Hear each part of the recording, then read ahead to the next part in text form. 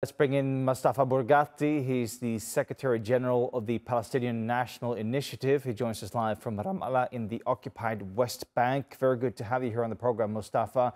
These attacks on UNRWA schools, we've been counting five of them over the last couple of days. What do you think Israel's strategy is here? Israel has two specific strategies by conducting these attacks. First of all, 80% of all UNRWA schools have already been bombarded. The main UNRWA centers have also been destroyed. Israel is trying to achieve a situation where it makes life in Gaza impossible don't forget that these are not just schools, they are shelters of people who have been displaced by the Israeli army bombardment and told to go to these areas, uh, claiming that these areas are safe. And now Israel is attacking these areas. So, one, in my opinion, main goal is to make this, the, the possibility of living in Gaza impossible because this has been the always the main goal of the Israeli attack, which is ethnic cleansing of all the population of Gaza. But in, addition, in addition to that, Israel is destroying uh, or trying to destroy any health or educational facilities. Their attack on education structures have been remarkable. You are talking about the destruction, complete destruction, erasing to the ground all universities in Gaza in addition, as I said, to more than probably 80 or 90% of schools. Clearly, Israel wants to create a generation that is incapable of receiving proper education. And uh, at the same time, they are attacking hospitals. There is no hospital in Gaza that was not attacked up till now. 34 out of 36 hospitals are totally unfunctional now because of Israeli attacks. So this is a, a, process of destroying all sources of human life. And clearly it is affecting a whole generation because you are talking about uh, all Palestinian students in Gaza, whether they are school, school, school boys and girls or uh, university students, are deprived from any possibility of access to any form of education for almost a year. That is very dangerous and very, will have very bad impact in the long run.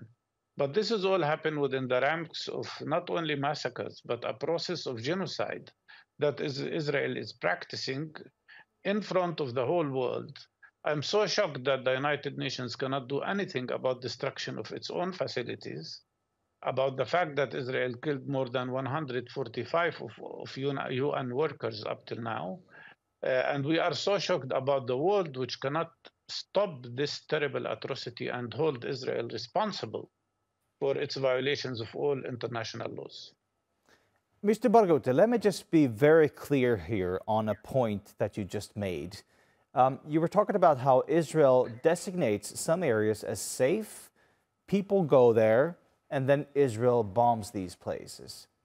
Do you actually think, I mean, are you saying that Israel intentionally tells people to go to so called safe areas to then bomb them in these areas?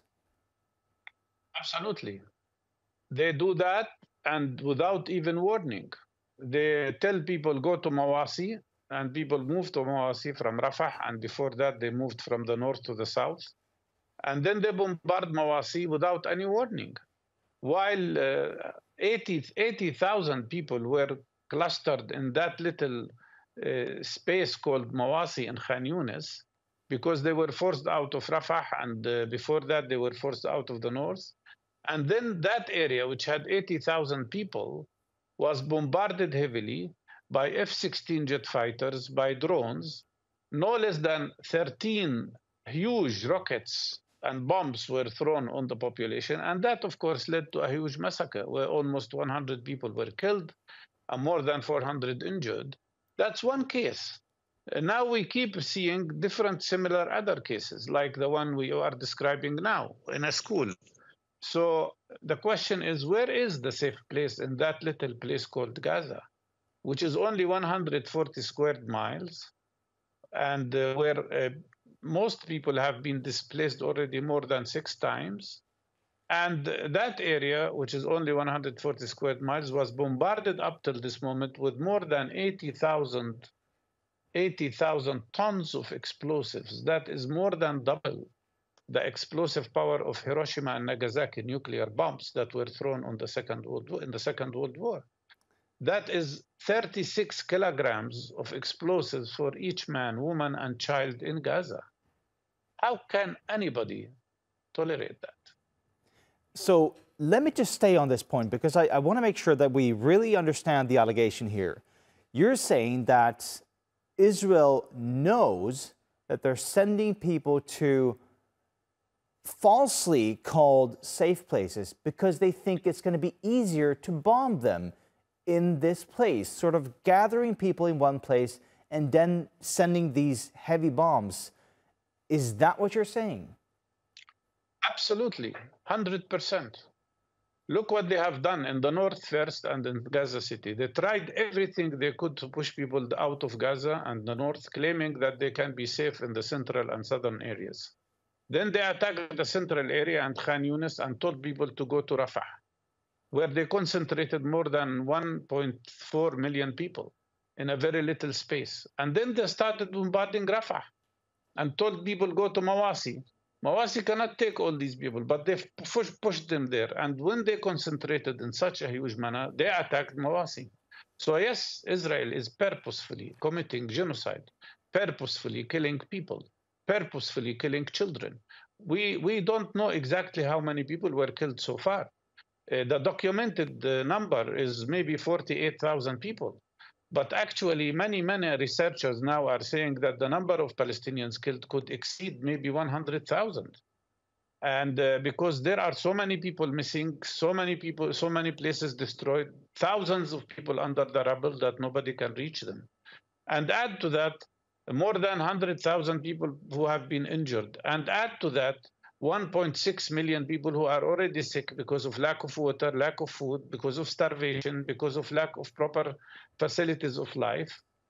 And they are suffering from different diseases. And now we start to see epidemics in Gaza, like hepatitis, which has already affected more than 76,000 people. So, what is this?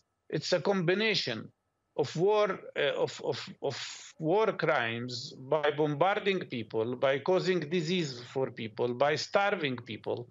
I don't know of any other example in modern history of such a level of genocide and such a level of war crime. Um, i don't know even if, if history have seen anything like that ever before. So so the, the, question is why the world is not starting immediately a campaign of imposing sanctions on Israel. That is the question. So, if you have this allegation in mind that you're saying that Israel is purposely bombing, killing people, sending people to a specific place to kill them, how can you conduct any kind of ceasefire talks knowing that this is going on? Uh, well, uh, the resistance is conducting ceasefire talks because they want to save as many people as possible. And also because they don't want to allow Israel to claim that it is the Palestinian side that is preventing ceasefire. It is to show the world that the reality is that Israel is the one that doesn't want ceasefire and wants to continue this terrible genocide. And in other words, to show the world that what Israel is doing now in Gaza and partially in the West Bank is nothing but continuation of their settler colonial project, which was initiated at the end of the 19th century and reached a peak in 1948, committing the Nakba, the, the, the, huge Holocaust against Palestinian population.